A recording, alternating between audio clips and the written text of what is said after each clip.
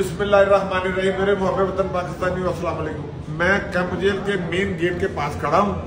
मैं camp jail में अपने बेटे की मुलाकात के लिए आया था। आज ईद का दूसरा रोज है। आईजी साहब ने फरूक मियाँ फरूक नदीर साहब ने, जो तमाम जेलों के अंदर ईद के रोज आम लोगों की मुलाकात करवाई है, ये उन्होंने एक तारीख रकम कर दिया। कभी किसी कैदी की, किसी मजबूर की ईद वाले दिन कभी मुलाकात नहीं हुई। हमने कितने सालों से हम देखते आ रहे हैं। मगर आईजी साहब के अहकाम के ऊपर जो कैंप जेल के अंदर मैंने देखा है, दीगर जेलों के अंदर भी हुआ होगा। सुप्रिंटेंडेंट जहीर विरक साहब, डिप्टी कामरान साहब जो एग्जेक्टिव के हैं और जेल के तमाम अमले ने सिपाहियों से लेके असिस्टेंट और सुप्रिंटेंडेंट तक, इन लोगों ने अपनी कुर्बानी देकर, अपनी छुट्टियाँ मनसूख करके, इन गरीब गुरबा की जो आपस में उनके वालदेन के साथ, बहन भाइयों के साथ मुलाकात करवाई है।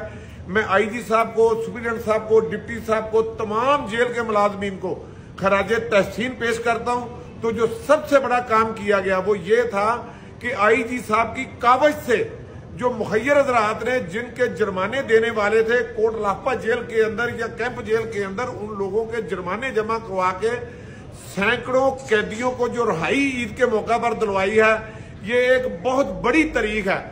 तकरीबन साठ से सत्तर लाख रुपए के जुर्माने, जिनमें सजाए मौत के कैदी भी हैं, दीगर कैदी भी हैं, जो सिर्फ़ जुर्माना ना जमा करवाने की वजह से कितने माह से ज़्यादा जेलों के अंदर अपनी कैद काट चुके थे। ये आईजी साहब की बहुत बड़ी कावश है कि जिन्होंने ये काम करके तो गरीब गुरबा के लिए अलम बुलंद किया।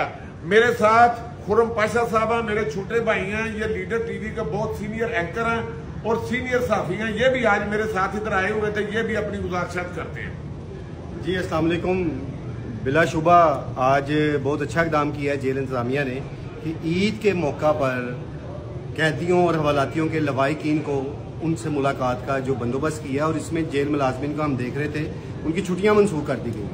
और उन्होंने अपने घर से दूर रह के आज कैदियों के लवाई की इनको सहूलियात खुशियाँ बांटी हैं। ये बड़ा अच्छा एक दाम है और इसको मैं भी तराज तहसीन पेश करता हूँ। बहुत शुक्रिया। मैं मैंने आखिरी ये गुजारिश करनी है कि आई जी साहब ये जो आपके मुलाजमीन ने अपनी कुर्बानी दे के लोगों की खुशियों को दुबाला किया इन लोगों का इसका इनाम मिला दिया जाए मुखैर हजरात इन तमाम को इनकी जो इंक्रीमेंटें रुकी हुई हैं या इनकी प्रमोशनें रुकी हैं, इन तमाम छोटे बड़े मुलाजमिन को जो ना, ईद की खुशी का ये भी इनाम दिया जाए कि जिन्होंने अपनी कुर्बानी दे के हम जैसे लोगों को खुशियाँ बांटी हैं। बहुत शुक्रिया। असल वरहमत वर्का